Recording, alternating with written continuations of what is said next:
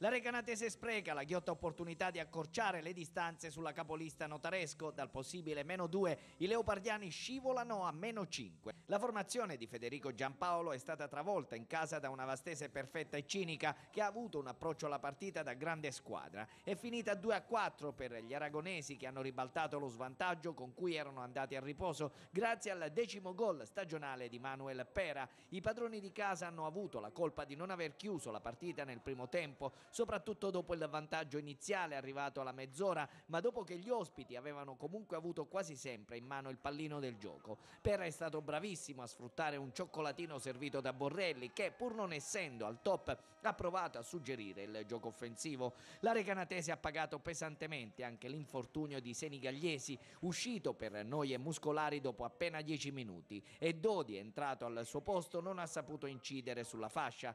I biancorossi ospiti hanno presidiato a tratti bene il centrocampo con Cavuoti ad operare dietro il duo Esposito Dos Santos. Proprio Dos Santos al 37esimo chiederà il penalty per un braccio largo di Ficola. Il tocco è netto, il rigore ci poteva stare. Padovani in contropiede si allunga troppo il pallone mentre poco dopo è Lombardi a sbagliare. Recanatese che potrebbe raddoppiare al 41esimo con Nodari ma la sua incornata è bloccata da Bardini. In avvio di ripresa i padroni di casa danno subito l'impressione di essere rimasti negli spogliatoi spogliatoi. Al quinto Francesco Esposito pareggia i conti. Quattro minuti dopo palla persa in malo modo in uscita dai locali con Vittorio Esposito che non perdona per il sorpasso aragonese.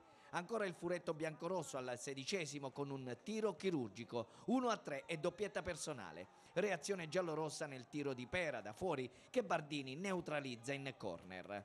Gara in ghiacciaia per la Vastese al ventesimo quando ancora il capitano Francesco Esposito, anche per lui una doppietta, colpisce una recanatese lunga, sfilacciata e disattenta. Il solito Pera ci prova ancora al ventisettesimo di testa, ma l'estremo ospite chiude la saracinesca. Poco dopo la mezz'ora fari accesi e pioggia battente sul Tubaldi, c'è ancora il tempo di registrare la rete del subentrato Pedroni che inchioda il risultato sul 2 a 4. In casa leopardiana i rimpianti sono tanti, in quella vastese c'è ora la consapevolezza di essere diventati finalmente una grande squadra.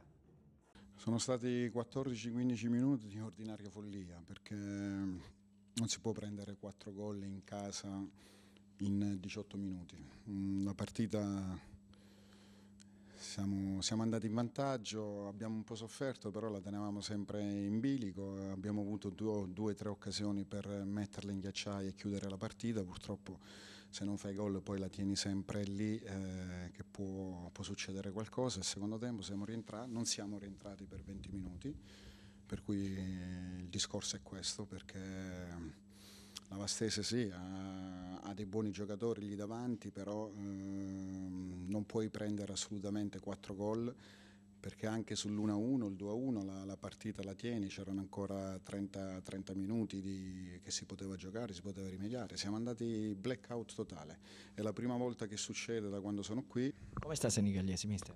Senigalliesi aveva qualche problemino, avuto, spero che non sia uno strappo, spero che sia uno stiramento, però vediamo martedì eh, la sua identità di infortunio com'è. L'ultima cosa, Borrelli noi l'abbiamo visto in condizioni strepitose molte volte, oggi non era al 101% come al solito?